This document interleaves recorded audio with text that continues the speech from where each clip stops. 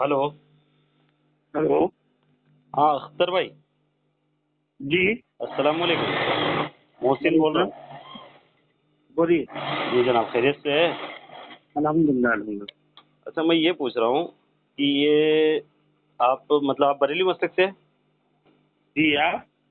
जी मैं मेरा देवबंद से ताल्लुक है।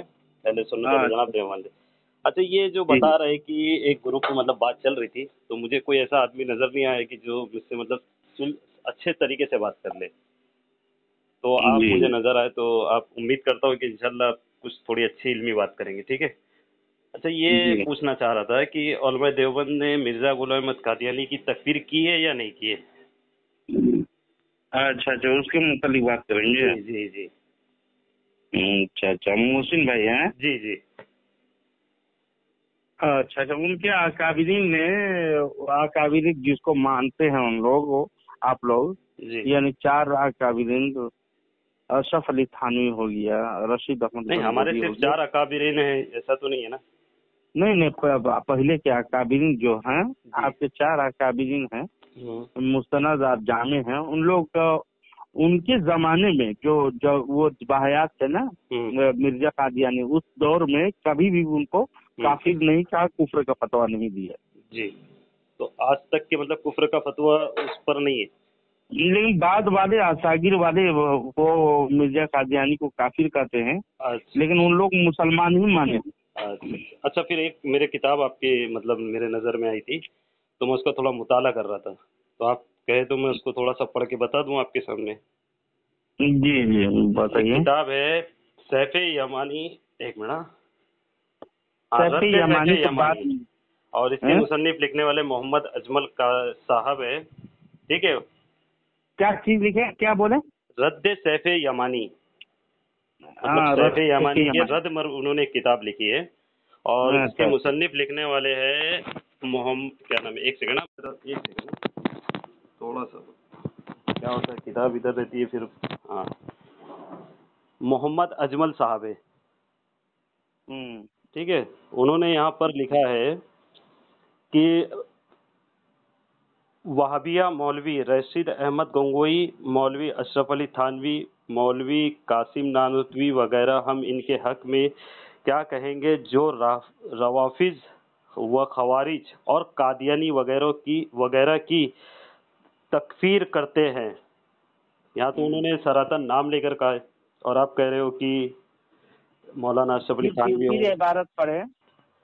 अच्छा हाँ मैं पढ़ता हूँ। शुरू से ये अगर साहब सैफ यमानी का यह अकीदा हो कि तज, तफसील व तजिल्ली करना मुतलकन अहल बातिल ही अरे यार। एक मिनट हाँ एक मिनट किसी का फ़ोन आ गया था। एक सेकंड हाँ। बातिल का ही काम है तो फिर वो अकाबिर वो अकाबिर वहाबिया मौलवी रशीद अहमद गंगोही मौलवी अशरफ अली थानवी मौलवी कासिम नानुतवी वगैरह हम वगैरह हम के हक में क्या कहेंगे? जो रवाफिज व खवारिज और कादियानी वगैरह की तफसील वो तजल्ली तकफीर करते हैं। इनके इस नज़रिए से वो सब इनके अकायद अकायद में बातिल अहले बातिल हैं। बात समझ गए? जी जी। तो यहाँ तो उन्होंने सरातन नाम लिखा है मतलब रशीद अहमद तो आपकी किताब जो सैफ यमानी है ना जी। सैफ यमानी बाद में लिखी गई हाँ है हाँ पता है। जिसमें उन्होंने कहा है उस किताब में कि हमारे अकाबिरीन ने तकफीर की है हम्म। लेकिन हवाला जात वो नहीं दिए हैं उसमें नहीं यहाँ पर तो सुनिए ना वो तो देखिए सैफ यमानी में जो आपके हैं उसमें जो लिखे हैं सैफ यमानी हाँ। वो ह- अपने दावे किए हैं कि हमारे अकाबिरीन इसकी तकफीर की है लेकिन हवाला दिए नहीं उसमें अच्छा। तो उसके हवाले से वो बातचीत कर रहे हैं रद्द यमानी हम्म, तो तो उसकी किताब की रद्द करना है वही किताब की बात कर रहे हैं उसमें।